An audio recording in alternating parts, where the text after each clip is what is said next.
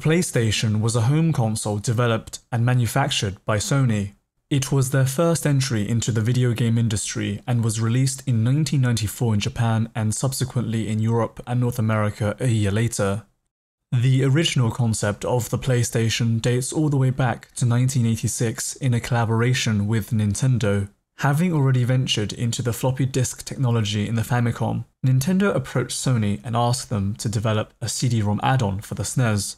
At the time, it was undecided if this add-on should be named the PlayStation with a space in between or the SNES CD. It was Ken Kutaragi, the man who would later be called the father of the PlayStation, that originally convinced Nintendo on the project with an impressive demonstration. Although it seemed to go well at first, Disagreement towards revenue distribution and royalties caused Nintendo to cancel the project many years after development started. This was a major setback for Sony, as they had spent a long time working on the prototype. As a potential solution, Sony decided to approach Sega, asking for a joint venture between them to produce a standalone console in collaboration. Unfortunately, Sega's board of directors in Tokyo immediately vetoed the idea as they believed Sony does not know how to make hardware or software, why would we want to do this? Although Sega's comments were harsh, they were not completely unfounded. After all, Sony in the early 90s had no experience in either game or console development. Despite the negative feedback from Sega, the then CEO of Sony, Norio Ohga, had recognized the potential of the chip Kutaragi had created for the PlayStation and decided to press on with the development process.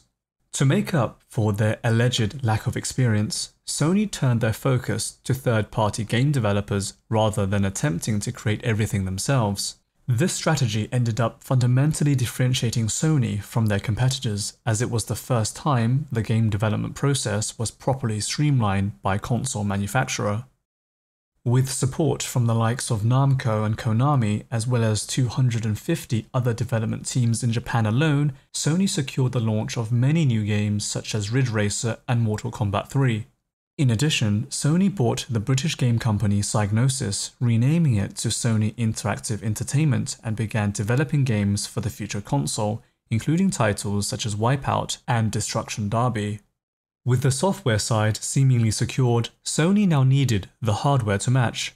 After many design choices, the final retail model of the PlayStation featured significant graphical fidelity improvements versus the previous generation of consoles. PlayStation games were encoded on CD-ROMs which featured vastly improved memory storage and richer visual environments. One of the PlayStation's strongest features was its proprietary video compression hardware, which was integrated into the CPU. This allowed for the highest quality of pre-rendered footage of its generation, which was one of its major selling points, and is what popularized the use of cutscenes in many games on the system. The PlayStation was not alone in the fifth generation, and as expected, faced fierce competition. Its main competitors were the Nintendo 64, Sega Saturn, and to a lesser extent the Atari Jaguar and 3DO Interactive Multiplayer. These consoles, while of high quality and designed by companies with said experience Sony apparently so desperately lacked, suffered severely from limited third-party support. The PlayStation, on the other hand, did not have this problem.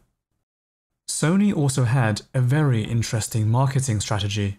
While Nintendo was mainly focused on a younger audience and the Sega Saturn towards a more mature one, Sony decided to strike the middle ground, catering towards teenagers and young adults. By Sony's philosophy, this strategy should by default appeal to the younger audience as children tended to look up to older gamers as role models. After years of development, the PlayStation finally went on sale in Japan on the 3rd of December 1994 at the price of around 40,000 yen, which was approximately $380. Sales in Japan were incredibly successful, aided by popular launch titles such as Wipeout, Ridge Racer, and Tekken. There were very long lines in stores, with the PlayStation selling an incredible 100,000 units on the first day of release, with 2 million further units being sold after just 6 months in Japan alone.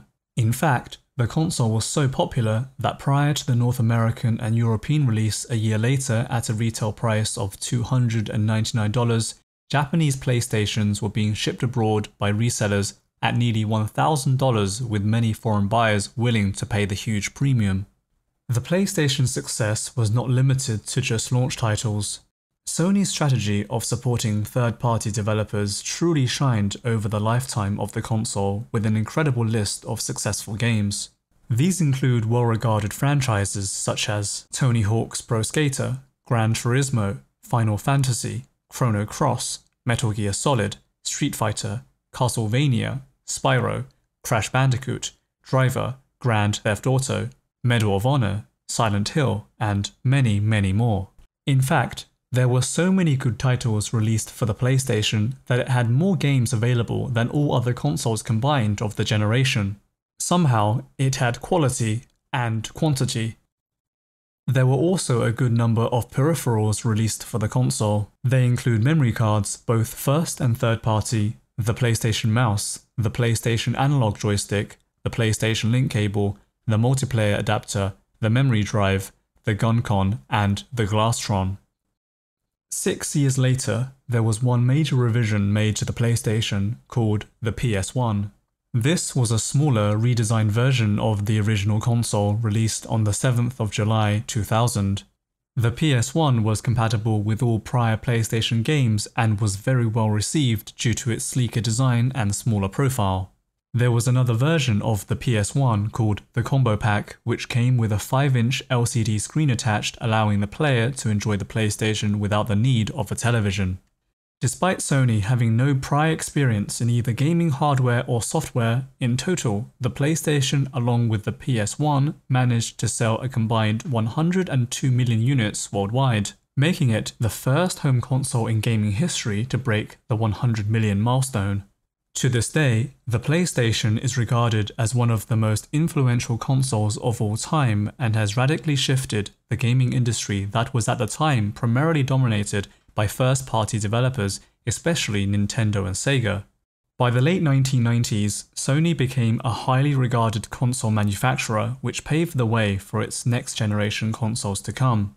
This success serves as a stark reminder that at times, Collaboration between developers will often yield better results, and experience alone does not guarantee success, as the fifth generation of consoles have shown.